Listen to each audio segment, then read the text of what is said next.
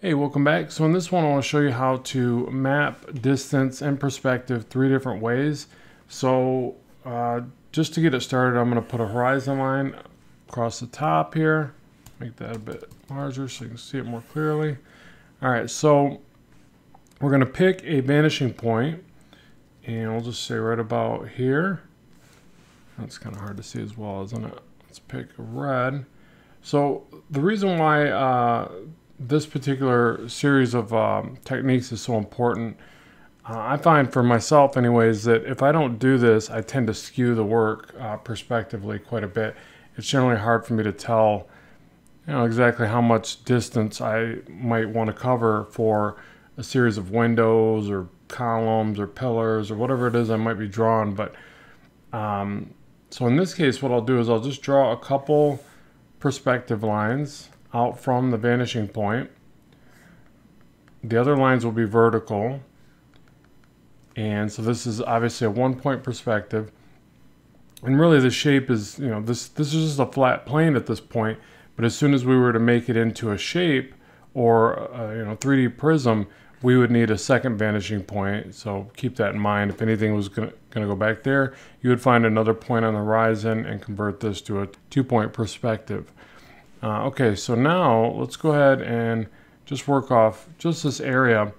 So the, there's a few different ways to go about this, and I'll show you the probably the simplest method first.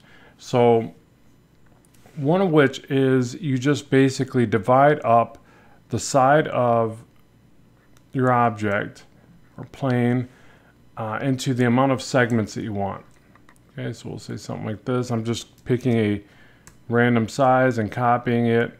So this is, you know, same concept as even using a ruler. I'm just basically mimicking that effect by making these little hash marks and copying them down. Uh, one thing I will say about techniques like these is generally you want to make sure that whatever you end up with, whether it be a spacing or uh, you know, maybe you have two little marks, you, you, just want to end up the same way you left off. So you could e either use gaps on the end or marks, but uh, make sure the same distance is equal to each side. Um, I know that probably goes without saying, but I figured I'd throw it in there. So now what we do is we take this point, I get a little closer here for you. So we take this point and we go back to the vanishing point, just like this.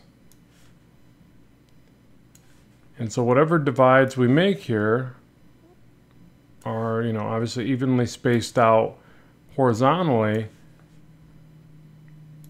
and so you can move those marks around and really experiment with this. But then the trick of it is, as soon as you cross over diagonally, I'll use a different color, and just want to make this super easy to understand. So each one of these are steps, basically. And then from this point, you could go to finalize your uh, segmentation. So remember the goal was to divide it up um, vertically.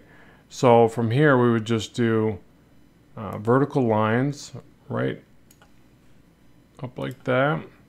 And I'll just copy these to expedite it. But you know, it's, it's the same concept of you pulling a ruler right to these areas, drawing a vertical line upward. And just like that, we end up with uh, even divides. Now, in, in both ways, uh, so you could say, well, uh, I just wanted the vertical lines, then in which case you would get rid of, actually, let me combine these together. So you, you, know, if you just wanted the verticals, you'd go like that. But those are evenly spaced out uh, in distance. And I'll show you another way to check that, which is actually another way to go about it, um, is subdividing these areas. So for instance, to check this, we could take this and say, okay, let's make sure that these are uh, landing where we hope they are, or we expect them to be. And what we'll do for that is we're going to first subdivide one of these like this.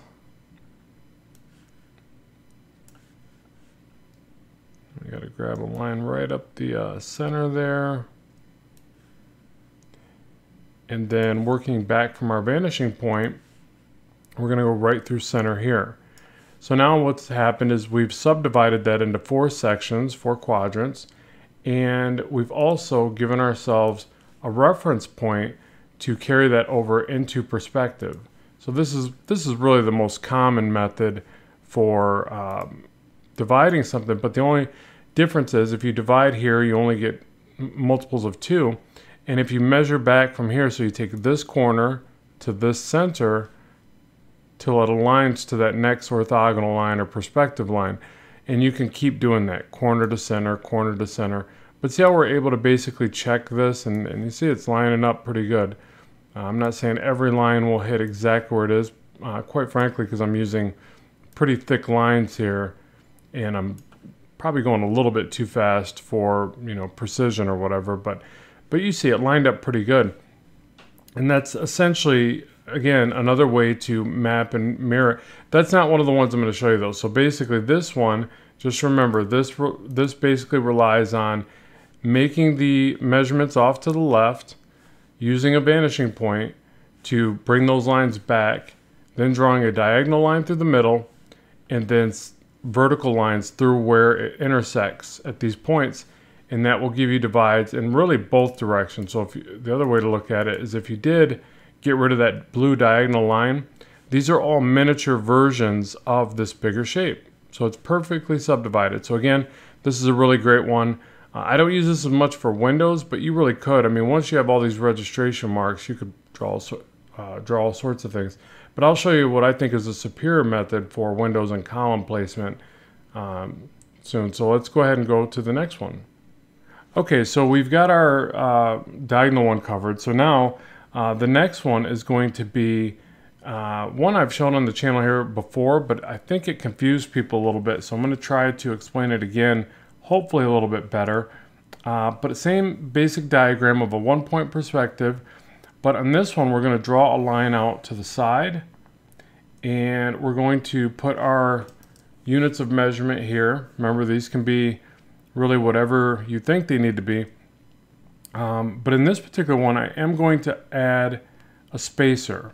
Okay, so I would take something like, actually I would need to start down here, or even like this, I guess, wouldn't, wouldn't matter. But I'll add the divide right here first. I'll move this over and I'll create, basically what I'm figuring is the first spacer, which I could probably extend that further, uh, and then the gap for a window, and then another divide, okay?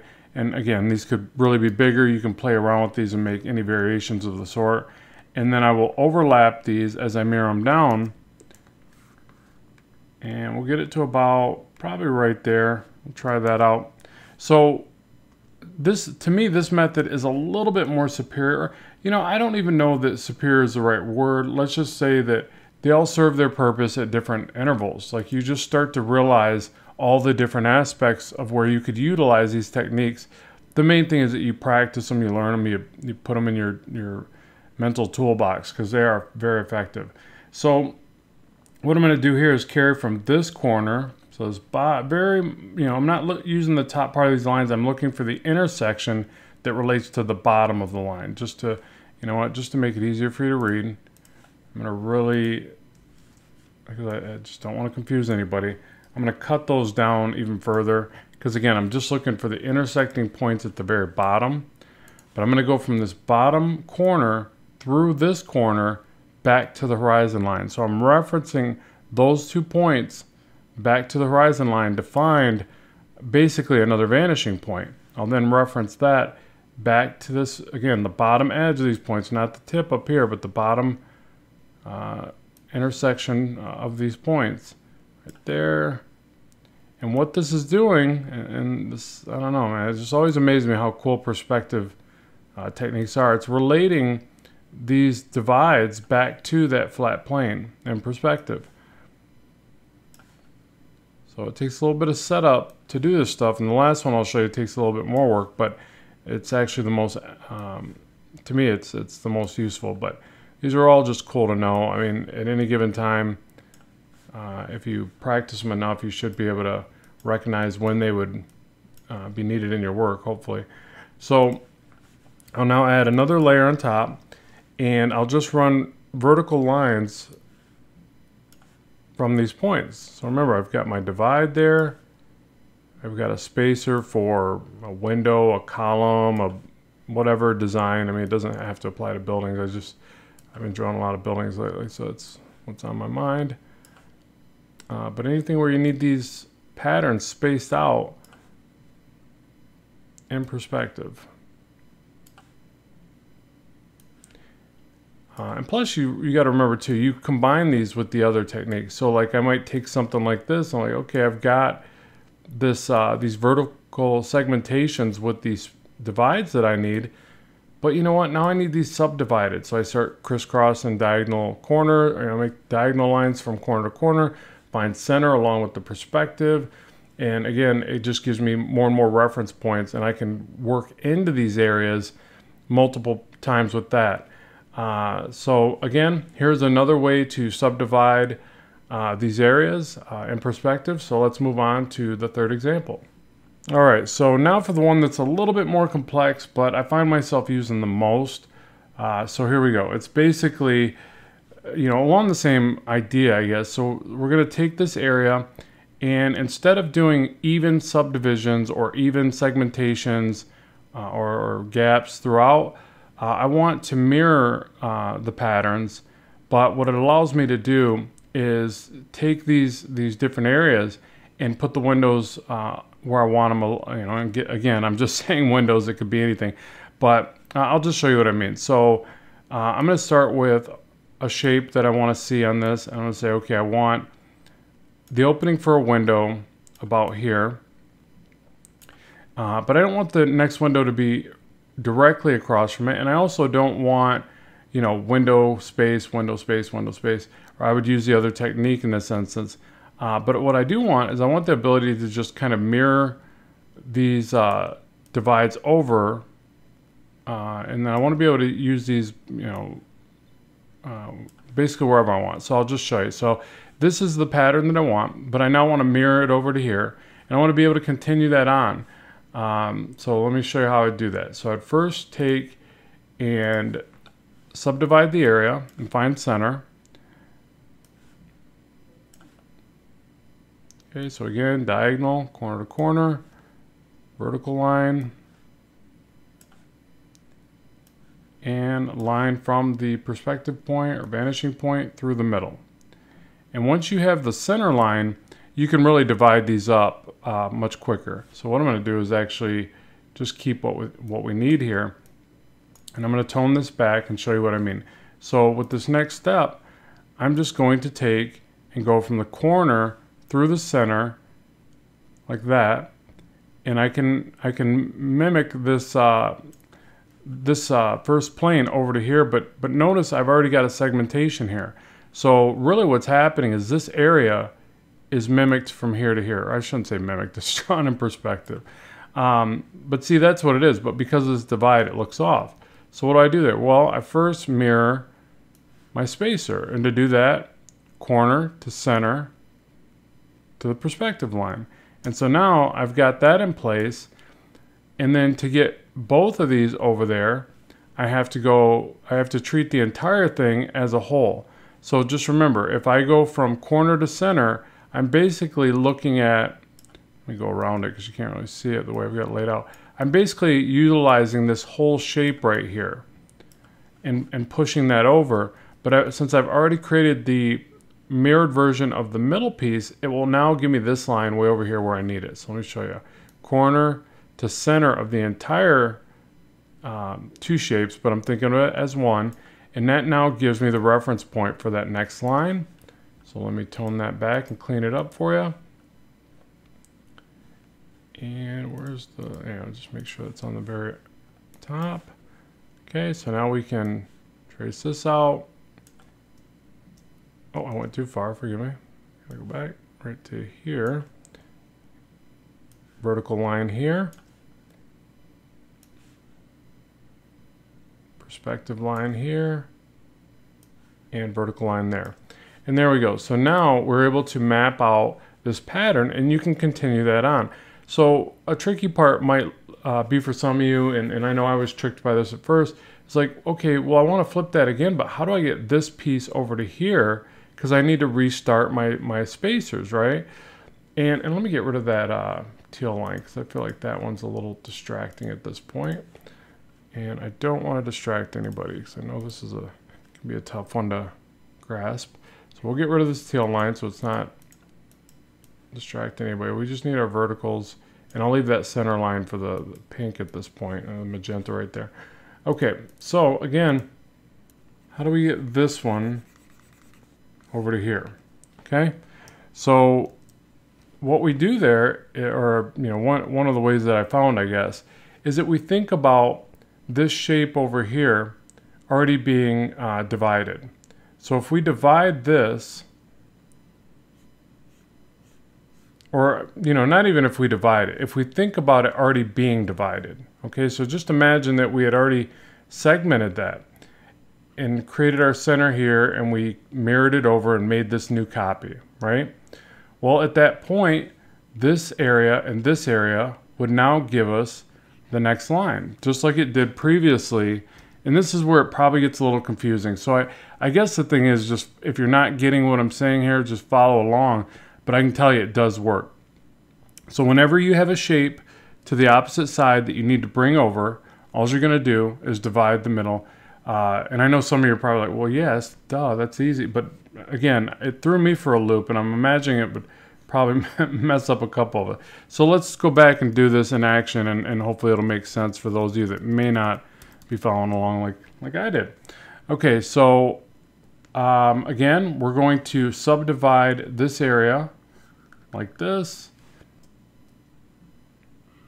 Create our divide up the middle. We're going to tone that back because it's not really what we're after. We, I mean, we, we do want the center line, but that's we just want it for reference. So again, just imagine that this area right here is actually just a pre-mirrored copy of this that we already did. And we're going to go from this bottom left through the middle here and then mapping that over to here. Drop this line down. While we're here, might as well go from the corner here through the middle. Drop this line down. And now we've recreated the two spacers here. So let me clean that up and show you. Again, if nothing else, you just practice it over and over until it starts to make sense. Uh, but it's, again, it's very repeatable and uh, it gets, you know, it gets faster and easier the more you do it. Okay, and then finally, I want to put this shape over there again. I want to end up with what we started. So again, that's pretty easy to do now that we know the, you know, the techniques here. So if we go back, we say, Okay, so how do we get this shape over there? Well, we ignore this and we go from here to the center of here. Right about there. And that will give us that next shape in perspective. Now, it looks pretty skinny, right? It's it's going to because it's this is actually a kind of steep perspective. Um, let me see if I, of course, I had to put that on another layer. So let me fix that real quick. Right here to here, here to here, there to there. Uh, and, you know, whenever possible, check the work. So to check the work in this instance, if we're trying to see if, uh, let's see. All right, so the first three shapes, this shape, the two skinny ones, are they even to this one and the two skinny ones next to it, the two dividers? Well, to check that, we would go from this corner through the middle of this. And there we go. See that? And, and same thing. So you can always go corner to center and you can check. I guess not in this case because you would have to check. Yeah, you'd have to check here. Corner to center. See that? So you can work back and, and double check your work. Now, one last thing, and I'll bring this one to a close. I know it's a long one, but this stuff is just, it can be pretty intense, but uh, uh, it's, it's so powerful once you get the hang of it. So I recommend you try it. And I've got a course, you know, that teaches a lot more of this stuff in depth. And, uh, you know, you can check that out in the links below if you like. Uh, I definitely appreciate the support. So we've got these shapes now. And so now we want to map these down. Okay. And what I'm going to do first is create a divide. Because again, I like I like having spacers uh, in my work. And that's uh, that's what I'm doing here. I'm going to create a little divide here, like so. Now in this instance, I'm going to carry it down. So really I need to reference this area here. I need the centers going this way. So I'll show you what I mean. corner to corner, vertical center, and I'll go ahead and bring that all the way up to here. So I'll just need the center point of this one. So now what I'm doing, since I'm working down, I'm going to reference, let me show you with another color here, corner to center, first to the entire shape, which will give me a, a divide at the base of it. Um, or we'll actually we'll actually flip it for me. So I'll show you what I mean. So corner to center right there, right? And then corner to center here. So it's giving me two points of reference, right? And those two points of reference are again the flipped uh, divider. Go ahead and get this going. Oh, you know what? I'm going to need to reference the side here.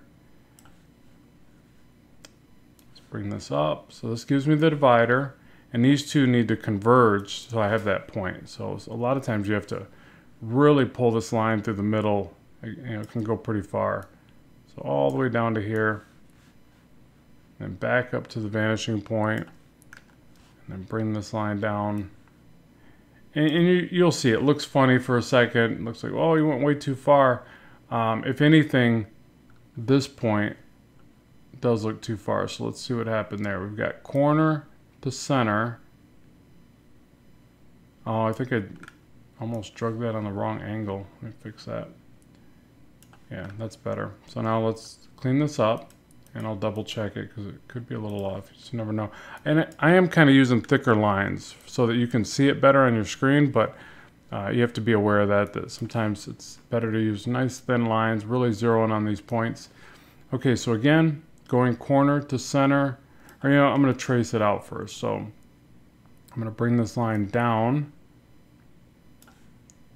down here. There's our perspective line.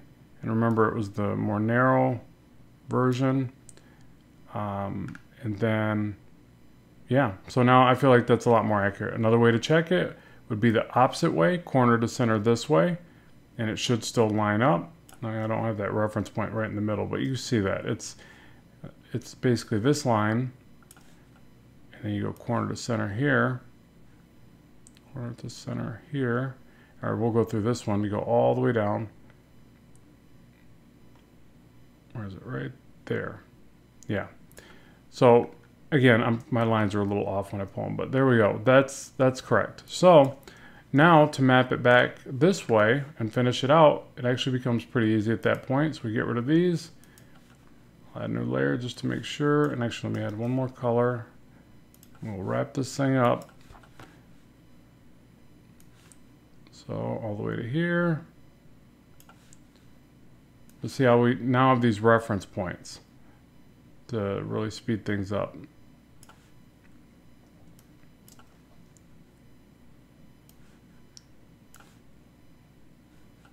And I would actually, I'll just drop through it, I guess. We know that those are divides or spacers or whatever you want to call them. And that now gives us our divides. So I'll go ahead and clean these up and show you the final results. So there you have it. That's three different ways to divide up your areas uh, in perspective. Hopefully these were informative and easy to understand. I would love to know if you have any questions and what else you'd like to see in the future. So good luck with your art and bye for now.